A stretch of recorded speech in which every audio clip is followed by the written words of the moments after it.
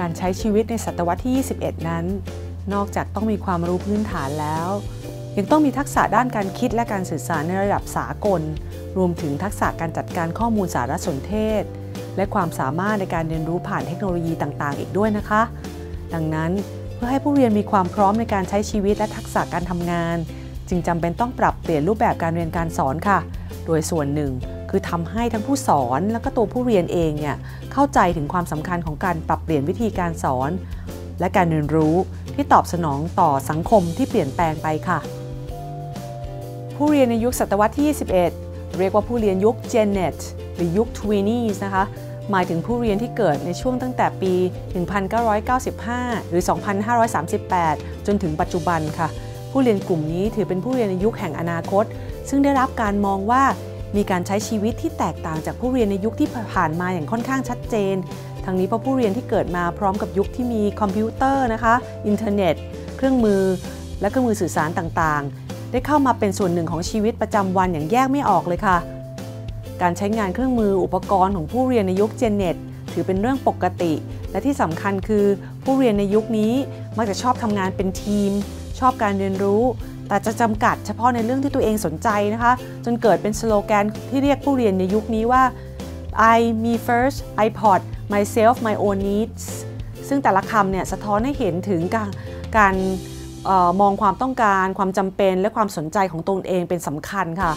ในด้านที่เกี่ยวข้องกับการเรียนรู้นั้น ผู้เรียนในยุคนี้ มักให้ความสนใจกับการเรียนรู้จากเครือข่าย หรือจากชุมชนคนรอบตัว และชุมชนแบบออนไลน์ มากกว่าการเรียนรู้จากผู้สอนในชั้นเรียน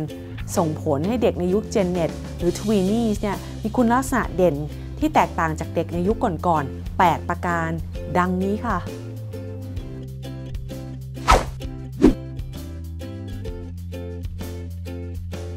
ข้อแรก ความรับผิดชอบและพึ่งพาตนเองในการเรียนรู้ หมายถึง ความสามารถของผู้เรียนในการวางแผน และการตั้งเป้าหมายการเรียนรู้ รวมถึงรู้จักวิธีการไปถึงเป้าหมายนั้นอย่างยืดหยุ่น ตลอดจนการมีวินัยในการเรียนรู้ของตนเอง โดยที่ไม่ต้องให้มีผู้ใดมาบังคับ ทักษะนี้ถือว่ามีความสำคัญและเป็นที่ต้องการ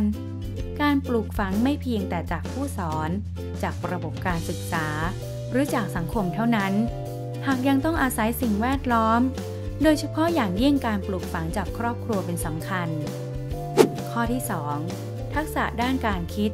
หรือ thinking skills หมายถึงการที่ผู้เรียนสามารถพัฒนา หรือได้รับการฝึกฝนทักษะการคิดอย่างมีระบบ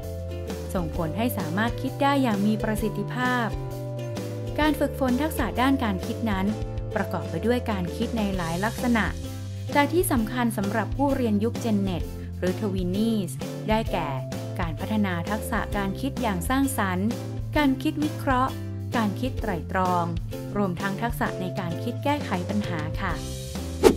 ข้อที่ 3 ทักษะในการทำงานร่วมกับผู้อื่นอย่างมีประสิทธิภาพ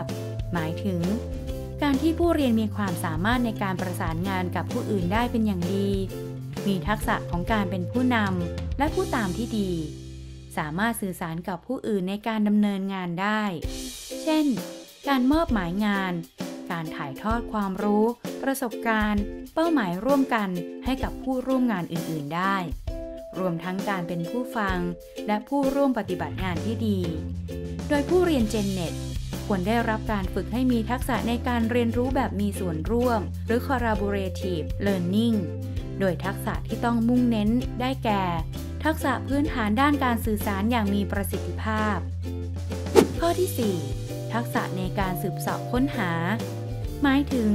การที่ผู้เรียนชอบที่จะศึกษาค้นคว้าสิ่งต่างๆ เพื่อพิสูจน์สมมติฐานของตน โดยสังเกต เปรียบเทียบความเหมือน ความแตกต่าง รวมทั้งสืบค้นเพื่อศึกษาค้นคว้าข้อมูล ความรู้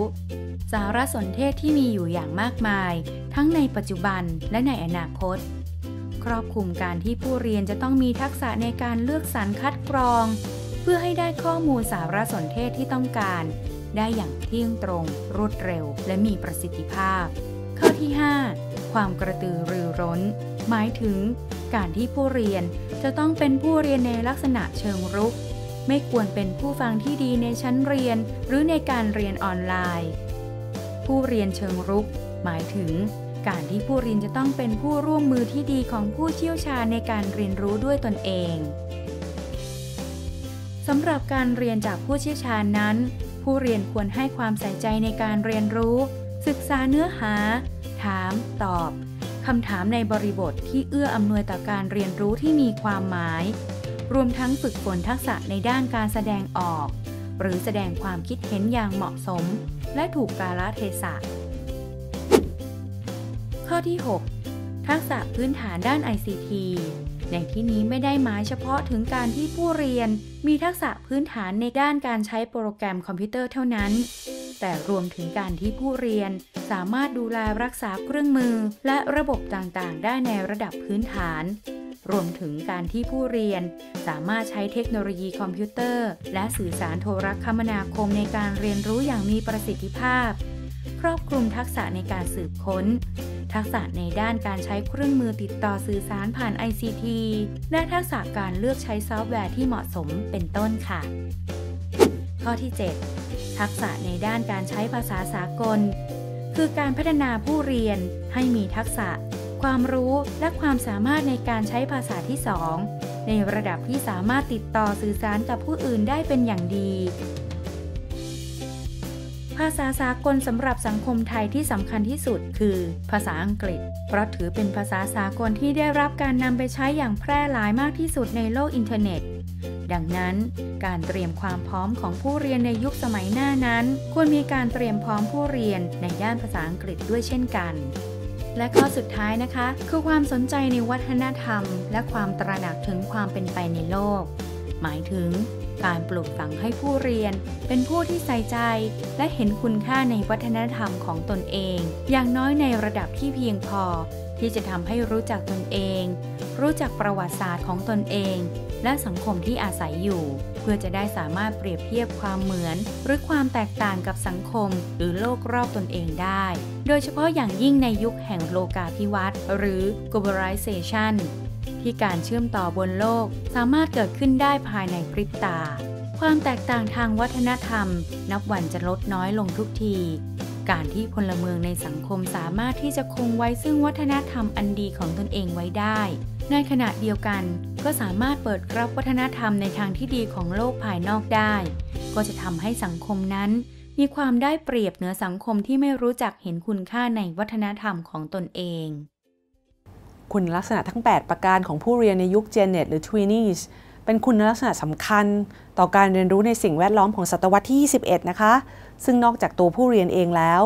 ผู้สอนผู้เกี่ยวข้องในการจัดการศึกษา ครอบครัว ผู้เกี่ยวข้องทุกฝ่ายค่ะ ควรหันมาให้ความสำคัญกับคุณลักษณะดังกล่าว เพื่อร่วมกันเตรียมความพร้อมสำหรับผู้เรียนในยุคศตวรรษที่ 21 กันนะคะ สวัสดีค่ะ